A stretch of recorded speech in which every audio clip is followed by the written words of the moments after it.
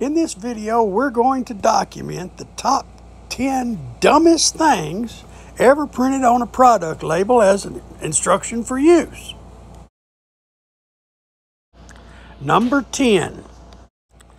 Dial soap label once had the printed instructions to use as normal soap.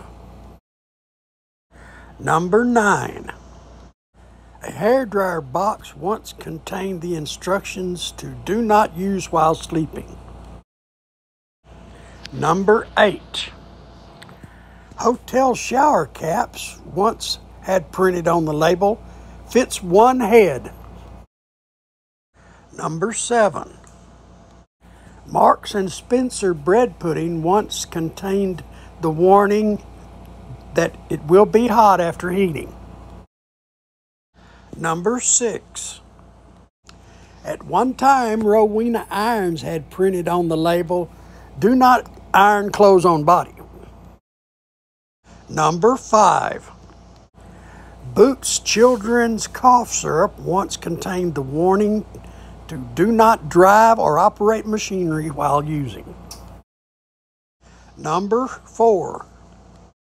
The complimentary package of nuts that used to come with American Airlines flights had the instructions open package, eat nuts.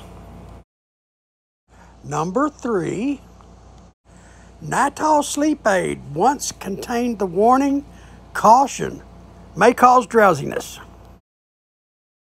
Number two, a Japanese food processor once had printed on the box caution not for other use.